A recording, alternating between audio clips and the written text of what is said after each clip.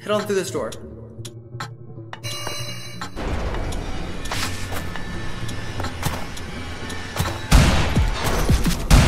have noticed, you're armed with two weapons. A pistol and a rifle.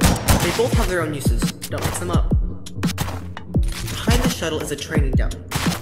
You're equipped with an aim assist. You will need it. Your pistol won't have enough range here, so use your rifle.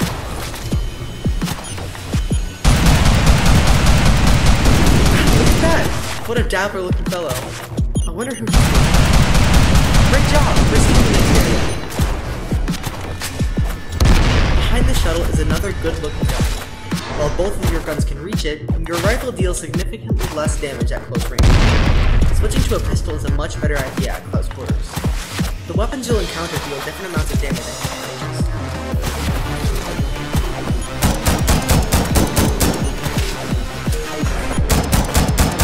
Awesome. As you can see, this ledge is too high to jump onto. That's why you have this grenade with you, the firecracker. If you jump into the air and toss it under your feet, it'll blast you away. Try it. Promise.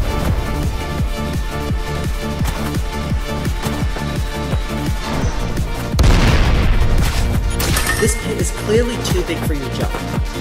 Don't worry, if you fall down you won't break your legs. A Dominion node suspended in the air. You can use it to grapple across safely against yourself.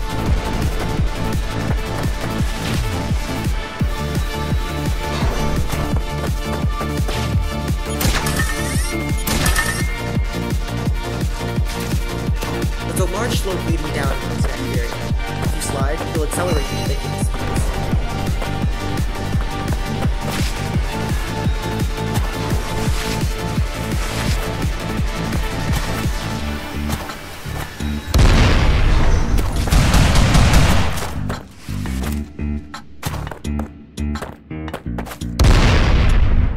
Another giant pit, but this time there's no Dominion nodes. That's because you can actually run on walls. It's faster than running normally on the ground too.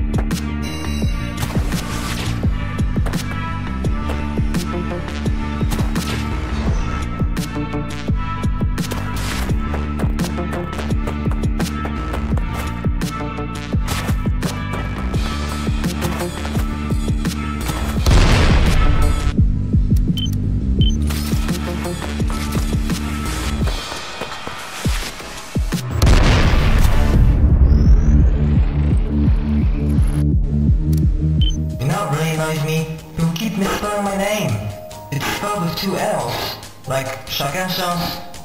My manufacturer must have hated me.